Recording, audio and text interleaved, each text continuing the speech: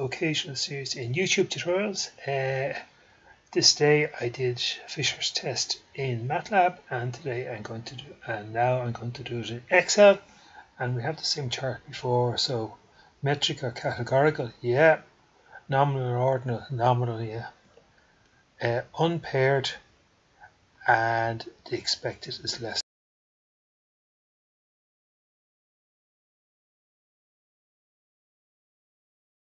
that's the lady taste and that's from that website there.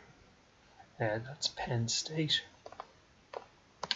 So in case you haven't looked up the MATLAB there is the hypothesis. So quite important if you're in Ireland or England about whether you put the tea in first and then the milk or the milk first and then the tea. So Lady Muriel reckoned she could she knew best she could she could tell whether it was tea first or milk first. So there's your little experiment. The rows are fixed by the experimenter and the columns, for want of a better word, are the dependent. So in effect the rows are the independent and the lady says are the dependent. And the null hypothesis is that there's no link between the rows and the columns. In other words, the lady doesn't know what she's talking about that there. Uh, the lady has no discerning ability, like she has no idea what's going on. So it's, it's just you might as well spin a dice as as try and work it out. So next thing to look at, it's a hypergeometric, and the formula is given there. This is from Wikipedia, just to give the credit for that there. Uh, you have studying A, B, C, D, and then you have row totals, column totals, and you have the whole thing. And there is just where I'm highlighting at the moment.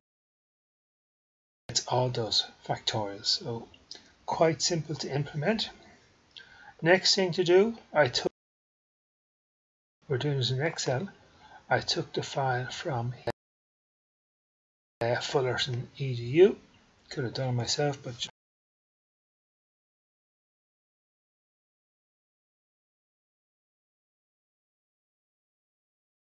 Lady Muriel problem that Fisher was in England in the 30s. There's a and b factorial, c and d factorial, a and c and b and d and n factorial. And we get a probability now. That was a little quick, so let's see the formula. So just use the fact command in uh, Excel. There they all are, and then you just divide, just go back to Mr. Wikipedia it's a plus b factorial c plus d etc etc etc over a factorial b factorial c factorial d factorial n factorial etc now different ways of doing this.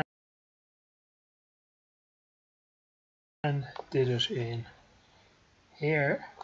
We get an answer of 0.229 when we so that's his answer there. And we get slightly different we get 0.2285 so decimal places here in Excel. So remember H naught, rows and columns are random.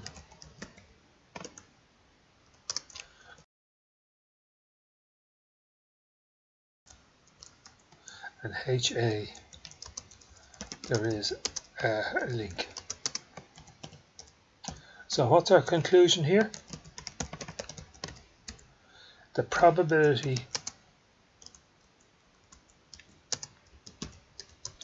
is 0.228 sorry. Probability is 0.22 oh me 0.228 and that now I didn't say I just say when I did it in MATLAB, uh, level of significance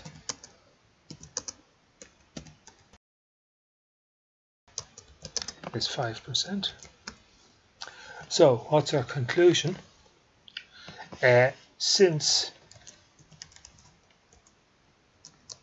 the probability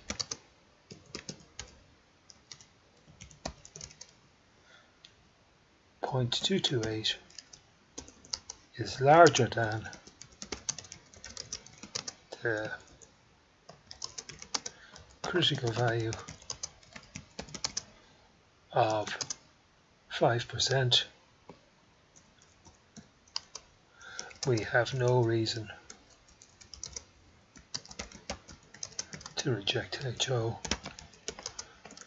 Statisticians love the double negative, but you're explaining that to the layman, what we're saying is the null hypothesis, our basic assumption is that the lady doesn't know what she's talking about. Things are just random, and our conclusion supports that. So the level of significance is 5%. We got 0.228, which is much, much larger than 0.05, so we have no reason to reject the null hypothesis. One other thing, if you look up the MATLAB, they get a different answer, and that's because the MATLAB version uses a correction factor. Some people say you should use the corrector, correction factor, others say you shouldn't. It's not an exact science, but we're just going to go with the answers that we have. Okay, so hope that helps a little. Thanks very much for listening.